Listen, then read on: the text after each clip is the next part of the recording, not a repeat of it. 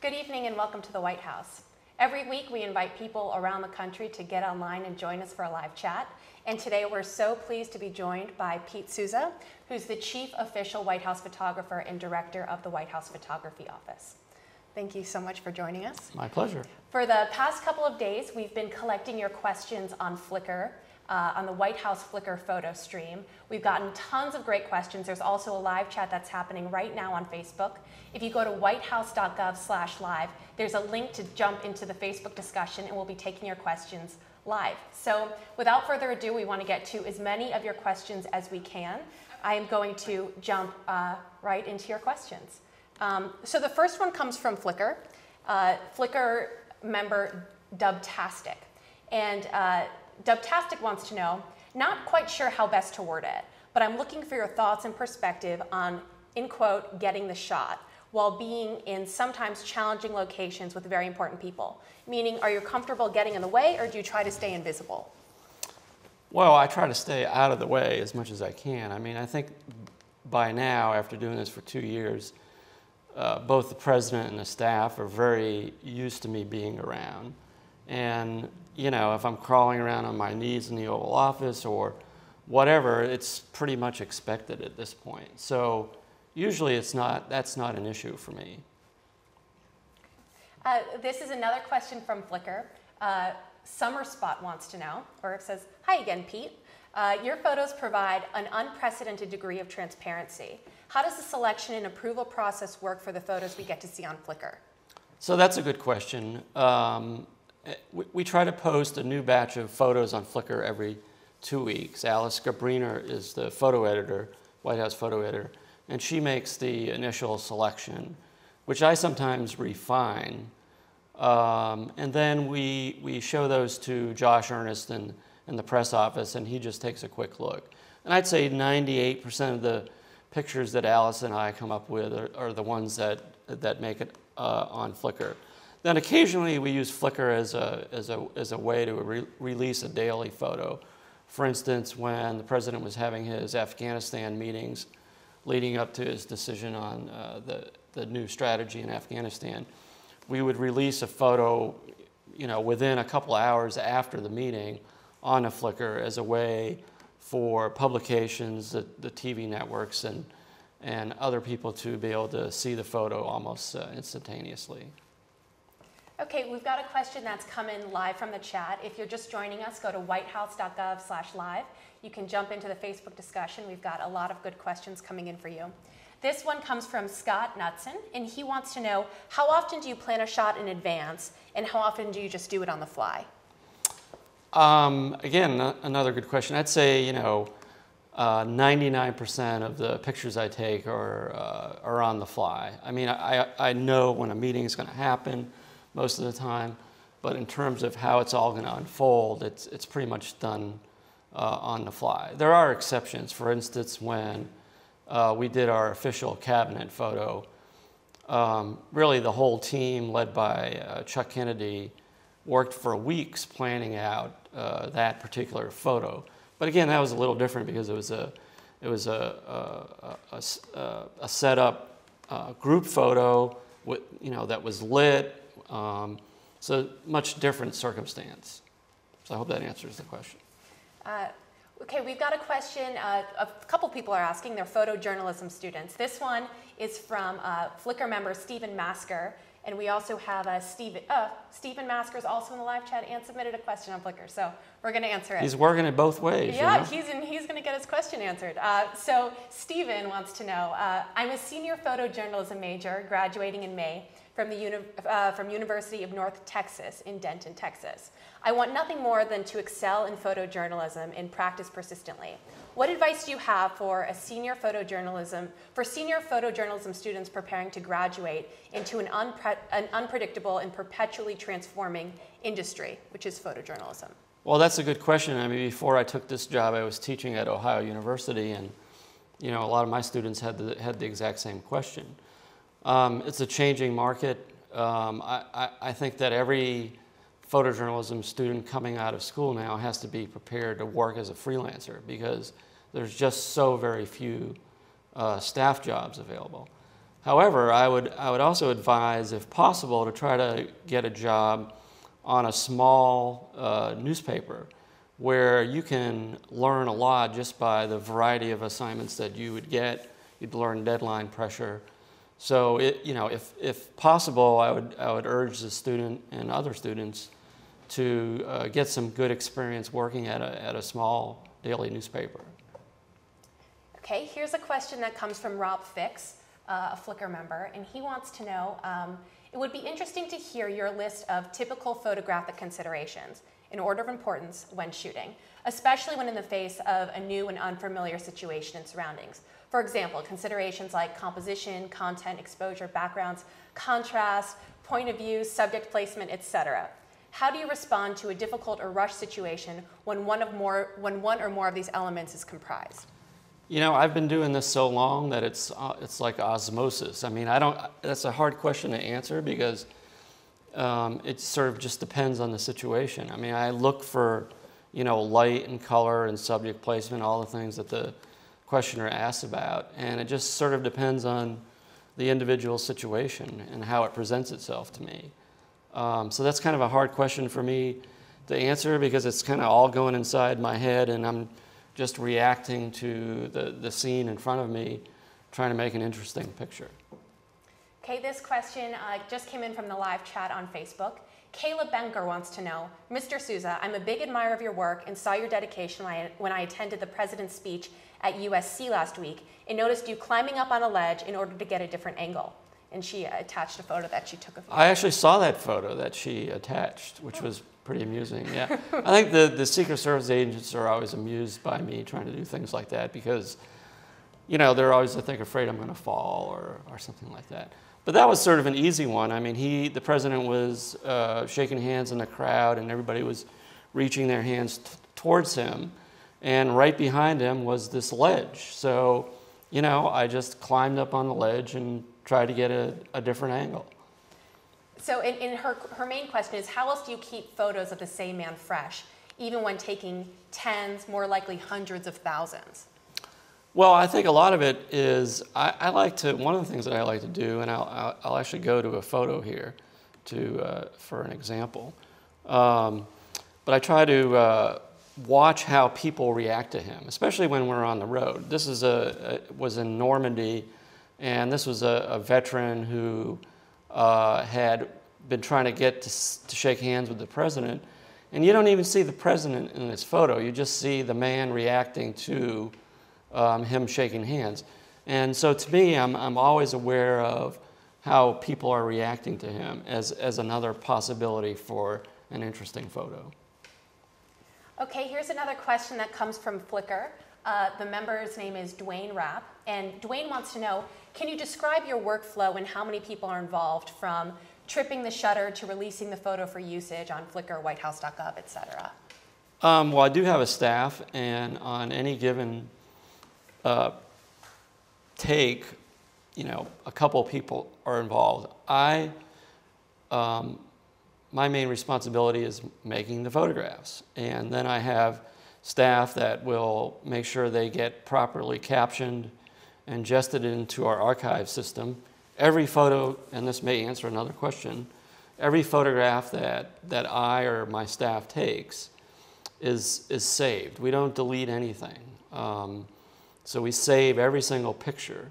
So somebody ingests those into our archive, captions them, and um, there's another, maybe this might answer another question too. We do very little toning, just sort of your basic uh, shadows and highlights and trying to get the color temperature correct. Um, but not much else beyond the, the sort of basic um, uh, things, uses of Photoshop. Uh, we don't do much uh, uh, toning, the, beyond the basics. Um, so I don't know if that answered the question or not, but I sort of went off on a little bit of a tangent there. Uh, this question comes from Flickr member, Picture Photography. Uh, his name is Rick, and he wants to know if you can tell him about a photograph during Obama's time as president that really stands out in your mind and explain why, i.e., your favorite image. Thank you. I, you know, I, I'm going to cop out and say I don't have a favorite image. My favorite image will be the one I take tomorrow because that's sort of what keeps me going is trying to come up with a, a good a good picture tomorrow.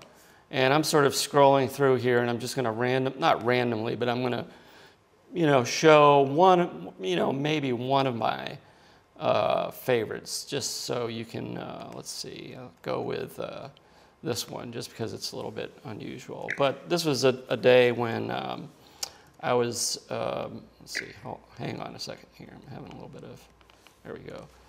Um, I was sitting outside the Oval Office, and the president's daughter, daughter uh, Sasha, came by and, and started sneaking into the, the back door of the Oval Office. And the president was at the desk talking with uh, his, his personal secretary, neither one of whom saw Sasha, and Sasha was kind of creeping up behind the sofa. And here you see her, Katie now, the secretary, has left the office, and, and Sasha is all the way to the edge of the sofa and the president's working at the desk. And at the very last minute, she jumped up and you know tried to scare him, and he basically, you know, as he said later, well, you know, Sasha can't really scare anybody. But to me, that was such a funny picture, uh, and and it just, you know, and I think it shows a lot about this presidency where you have these two young girls that are always around. And so, you know, he is a father, but he's the president. So, so, so this is one of the pictures that I sort of like because of that. Um, so the next question comes from Steve Rhodes of, uh, on Flickr. And Steve wants to know, how is it different working in the Obama White House from the Reagan White House? So just as a, as a little bit of an introduction, I, I worked as a, as a junior White House photographer during uh, the Reagan administration when I was 12. I was 12 at the time. And um, so, I mean, I think the big difference is that the technology is completely different. I mean, we were shooting film then, and now everything is digital. Um, President Reagan was like almost 50 years older than me, and now I'm a few years older than the current president. This president's a lot younger than President Reagan. So those are the sort of differences that I see.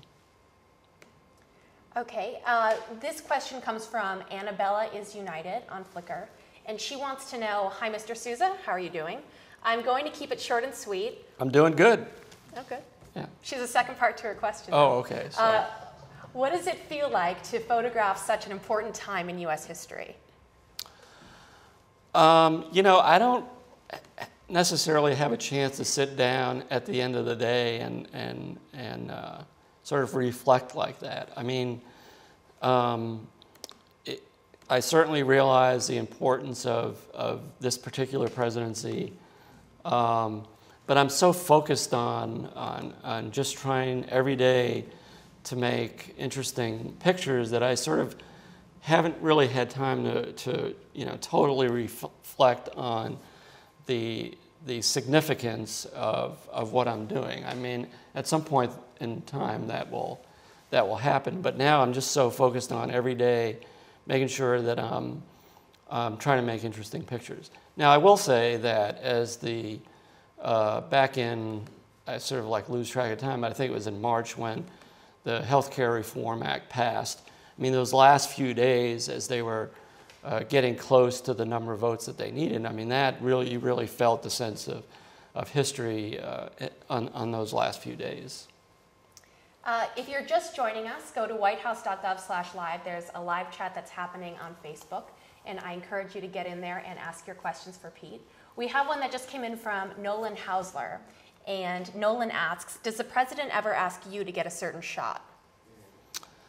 Uh, you know, not really. I mean, um, he, uh, uh, like I said, he's so used to me being around that, uh, like, I think sometimes he doesn't even, he sort of forgets that I'm in the room.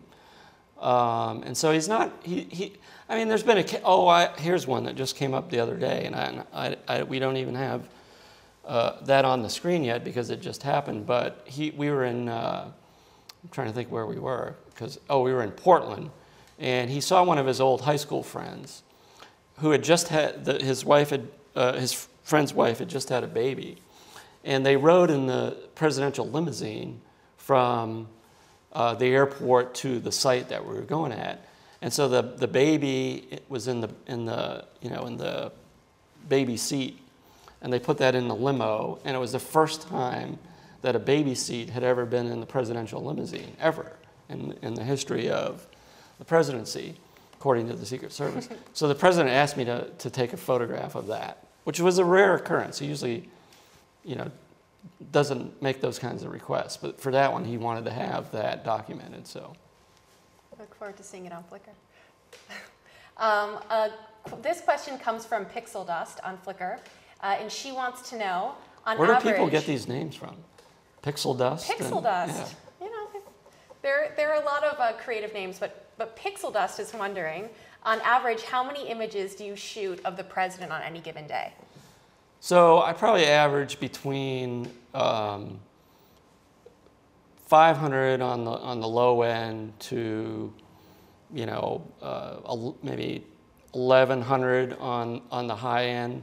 So somewhere in that range, just depending on the, the president's schedule that day, and then on on you know like inauguration day, uh, the the day that healthcare passed, you know, probably exceeding 1500 pictures. Uh, this question comes from Shay Cam. Uh, Shay Cam asks, just curious what you enjoy shooting when you're not photographing the president. What would your hobby? What's your hobby shooting?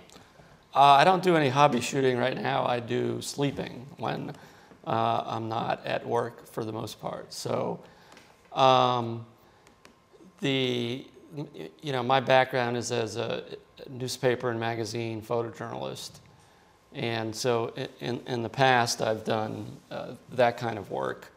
Uh, I mean, occasionally I've done nature photography, but that uh, I'm not doing a lot of that right now. I just don't have time. Uh, this question comes from Linda Moore. It just came in on Facebook. She asks, do you have all access, or are there times when you're not allowed to take photos? Uh, I pretty much have open access um, to any meeting that the president has. Um, I, during a, a, a one-on-one meeting, if he's having a private meeting with someone, I sort of uh, have learned over time what's an appropriate time to stay to let them have their private conversation, but still make sure that I that I've gotten good pictures from that meeting. So the the one-on-one meetings, I tend not to stay as long as uh, you know the the bigger, uh, more historic meetings, which I usually stay in for the for the uh, whole meeting. This question comes from Pasha on Flickr, and she wants to know, or, or he, Patia, Pasha, uh, what are your best tips for getting great candid photos of people? Uh, well, I think that people have to be uh, comfortable with you. And um, I mean, I think that it's just something that's difficult to explain how you do that. But I think you sort of have to be true to yourself. You know, you have to um, blend into your surroundings. Um, you know, usually I'm not engaging the president during meetings or anything like that. I sort of just do my my thing. I think, and and as I said, over over time, people have gotten used to me being around, so it's it's not usually an issue. But I think you know, for somebody that's just goes just going into it cold, I think you've got to establish some kind of a rapport with your subject so they feel comfortable with your presence. This question comes from Lizzie Cookson, and she asks, uh, Mr. Souza, if you were only allowed to shoot with one lens for the rest of your life, what would you use? I, I wouldn't do that. I wouldn't. Do, no, I, pro- the, I probably use um, a 35 millimeter, which is kind of a, a, a semi wide angle lens. I probably use that lens the most. And then probably the, the lens that I use the second most is a, a, a telephoto lens 135. So those are the two lenses that, um, that I probably use the most. Okay. And I would want both of those with me, not just one. Okay. Well, hopefully that's good enough for you, Lizzie. Um, so we've had a couple of questions come in like this. Uh, recently on the White House blog, you published your, your uh, favorite 10 photos, and there's one really nice moment where the president and first lady are uh, uh, touching hands um, on a rail. And so Donna Toll and a couple of other people have asked, is it difficult capturing inner, uh, intimate moments with the president and first lady? Here's that. So here's the photo. This was, uh, they had gone down to the Gulf Coast and we're on a, a, a boat, and I, you know, noticed them uh, touching their hands like that, and I thought that was an interesting photo. Somebody commented that they wish the president wasn't wearing a watch. It would have been a better photo. But you know, that's the way it was. He wears a watch, so that's that's the reality of the photograph. Uh, I mean, again, I think that they're so used to me being around um, that um, you know they sort of just go about about their business, and I try to uh, be um, not intrusive in, when I'm taking pictures, um, and you know, and it leads to moments like this. Okay. Uh, if you're just joining us, go to whitehouse.gov slash live. There's a live chat that's happening on Facebook, and we're asking Pete a lot of your great questions. This one just came in from Ricky Blanco. He asks, uh, "Are there times when you will shoot film, or do you ever carry a film body nowadays?" I have not yet. I mean, it's, it, there's a possibility that I, I may uh, sh- uh, shoot some film uh, at some point during the administration.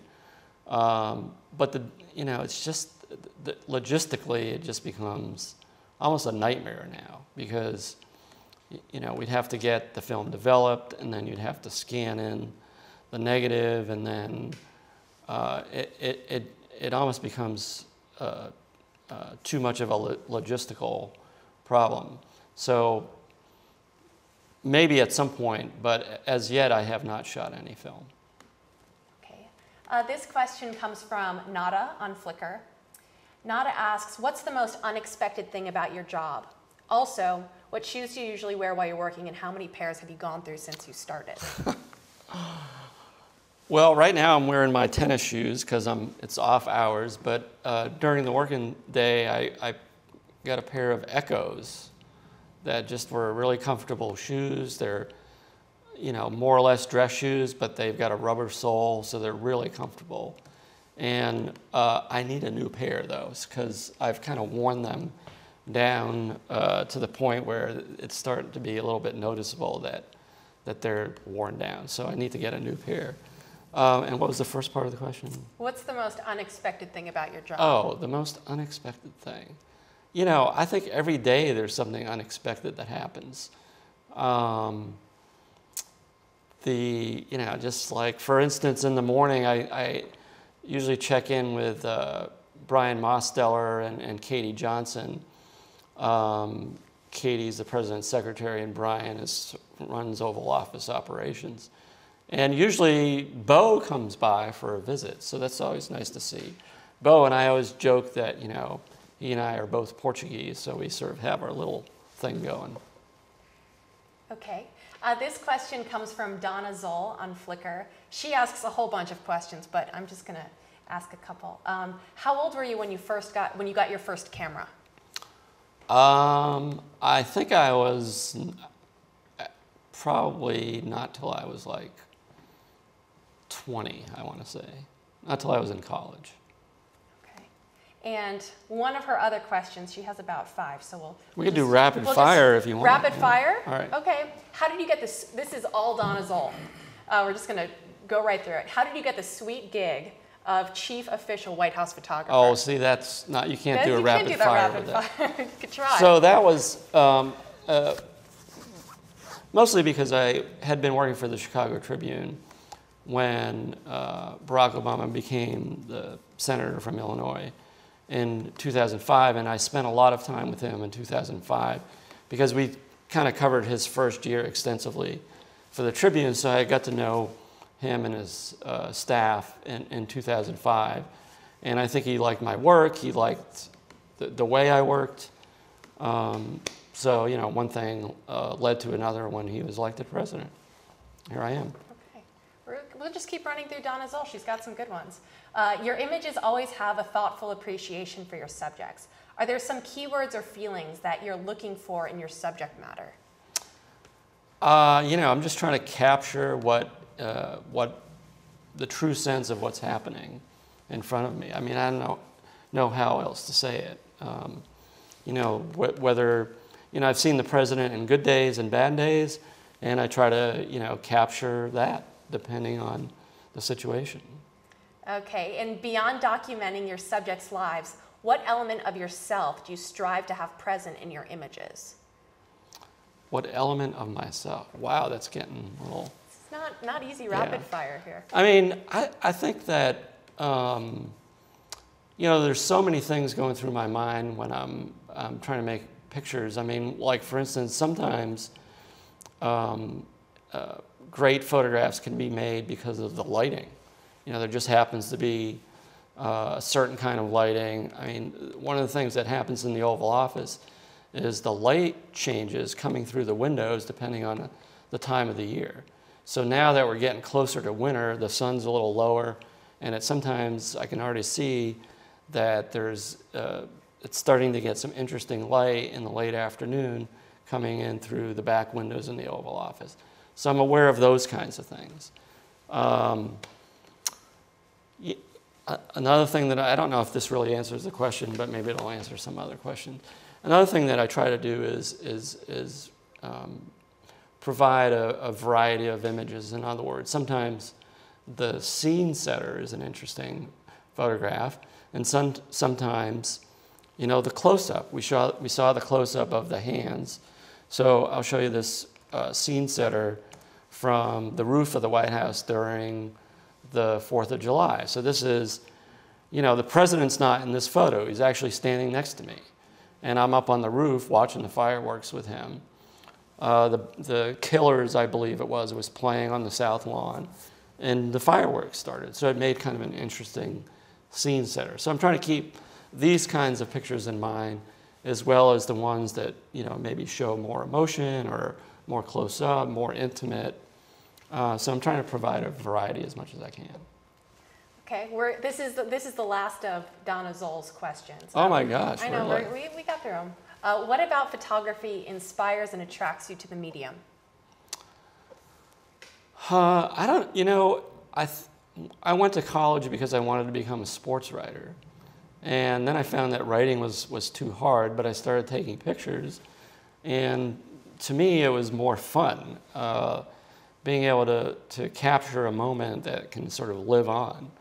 And, you know, it's hard for me to describe. I just like what I'm doing. And uh, I, I, I love the idea of the still image that it, it can be instant, instantaneously recognizable. If you think of some of the historic pictures from the last 50 years, you can, a lot of times you can just describe the photo and everybody instantly can draw up in their mind that image. Uh, LBJ getting sworn in on Air Force One, you know, things like that. People know the picture I'm talking about. It's, it, it, it becomes, the, the still image becomes seared in your mind. And uh, so, I don't know, I've just become attractive to uh, capturing the still image. So uh, Donna closed by saying, I could go on, but um, I'm the only question asker in the, I'm not the only question asker in the world. Thanks for sharing yourself. I love your work. Her all-time favorite picture is the one of Robert De Niro and Bruce Springsteen, uh, the Christmas photo with the president. Oh, well, we'll have to show that because I think I have that She here. She calls it magical glee. Oh, maybe I don't have that. I thought I had that. Oh, there it is. Okay, here we go. So this was a great moment for me too because I am a huge Bruce Springsteen fan, and um, and you know, and how can you not be a fan of Robert De Niro, one of the greatest actors of our times? But this was just uh, the reception before the Kennedy Center honors when both De Niro and Springsteen were honored. So that was sort of, it was great. It was just a great.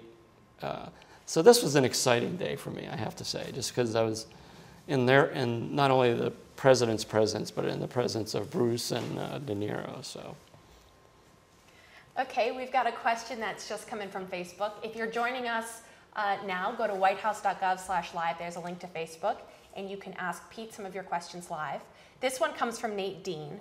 Nate asks. I don't know any of these people, by the way. You don't know any of these people? no, I thought like all my friends would, you know, take over the site or something. Oh. But whatever. Next, next, next chat. We'll uh, we'll email it to your friends. Uh, Nate wants to know what's your biggest challenge photographing the president.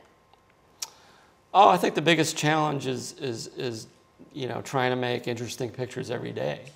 Uh, I mean, the it, I call it the daily grind when you know there's a lot of similarities from meeting to meeting, and so you know it's a challenge trying to make interesting pictures uh, on a daily basis. So I think that's probably my biggest challenge.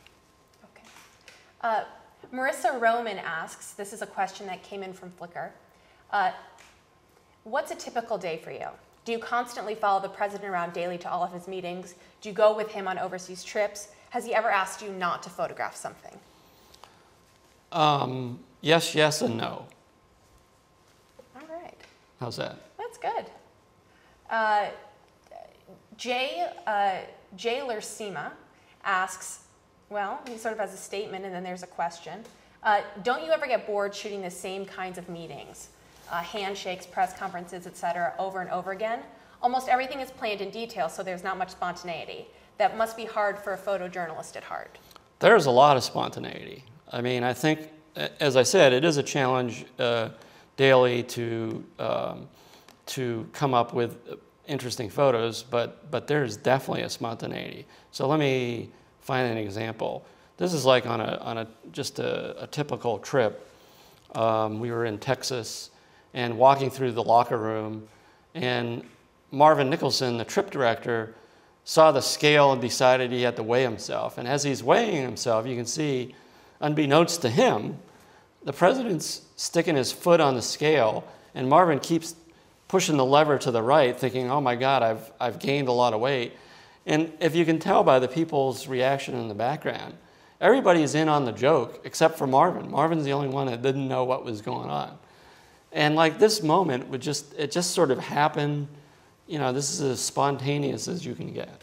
So there are lots of spontaneous moments in, in this job. And it's, you know, I just have to be alert enough to, to capture them.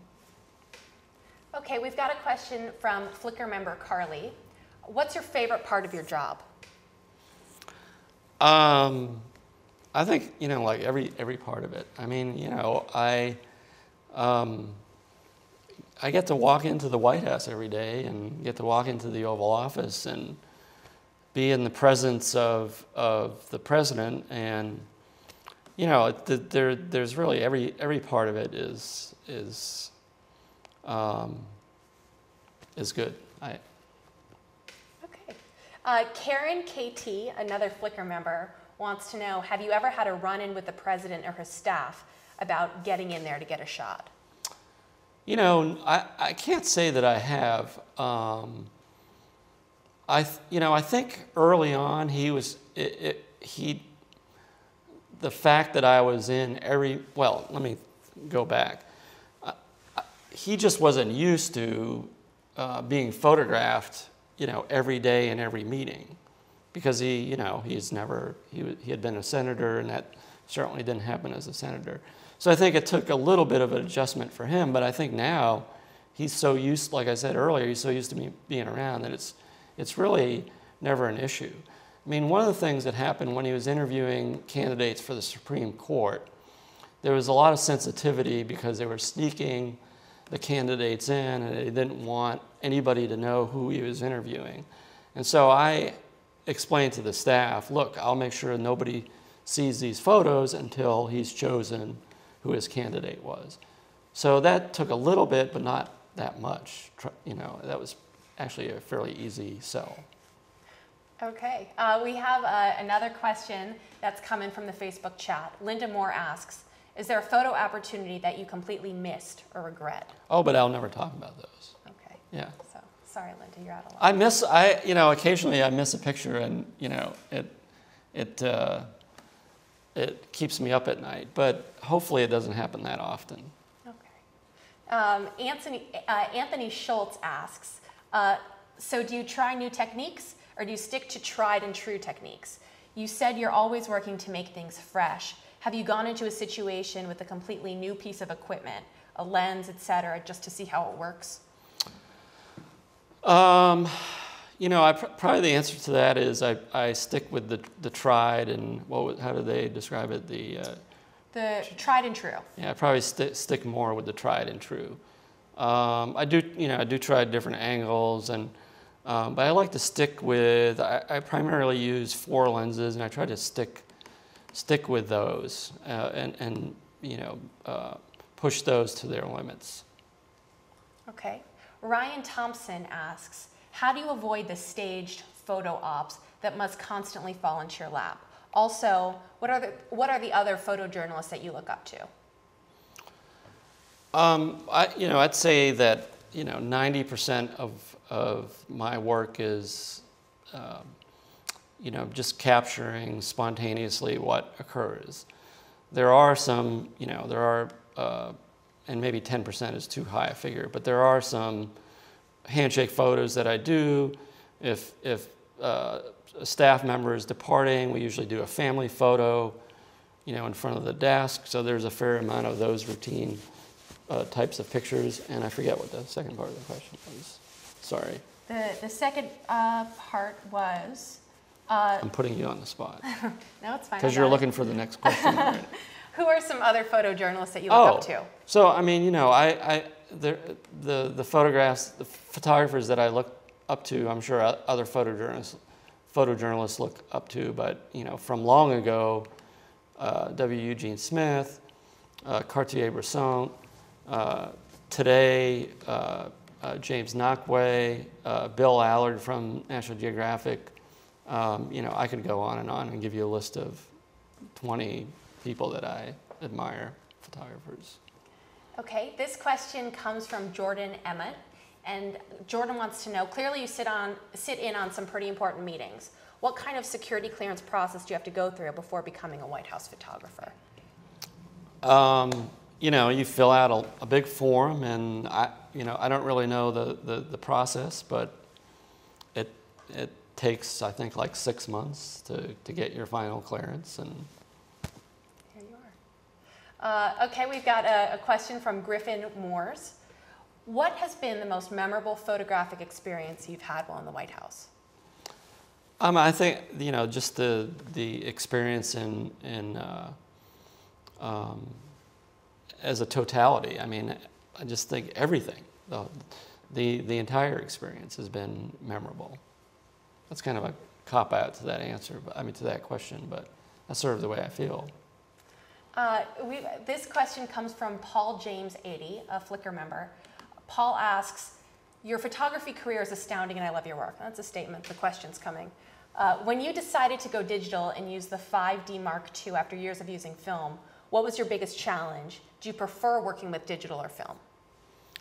Oh, I think now I prefer working with digital. It's, it, it's made um, all aspects of, of photography uh, a lot easier in terms of the instantaneous quality of it, being able to um, archive the images almost as, as soon as they're shot.